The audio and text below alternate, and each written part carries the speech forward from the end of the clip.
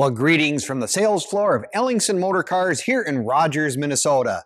Today we're going to show you one of the nicest tribute cars we've had in a long time because they only made four of them in the real world, so this one's a lot more reasonably priced. Tell you a bit in a little bit.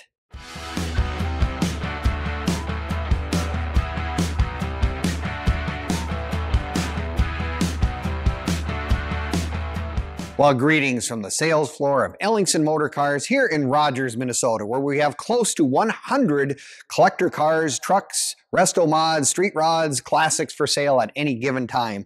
So today we're going to tell you about one of our latest acquisitions here. It is a 1966 replica of a 66 Shelby, convertible of all things. In the real world, they made four of them. So if they made four of them, if you wanted a real one, uh, you would have to have extremely deep pockets.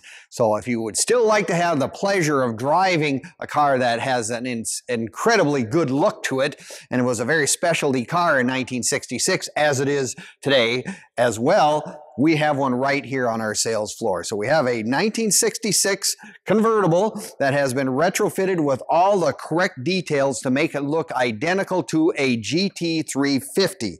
Uh, we've got the 10 spoke Shelby wheels with the radial tires, of course, the GT stripe package that went down the length of the car. You have the side scoops for air intake for supposedly for the rear brake system. Uh, you have the uh, bump hood with the small hood scoop with the hood pins.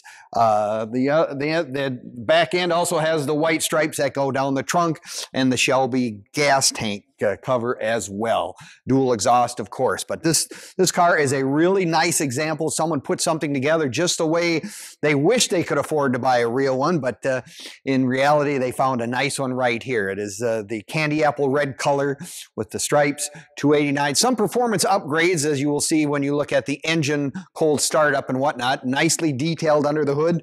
Of course, another interesting feature about this particular car, it is actually a front bench seat car car. And that is actually discerned in the, on the uh, ID tag on the inside on the door. So this car was originally ordered with a bench seat. There weren't a whole lot of those that came that way, uh, but this one happens to have it.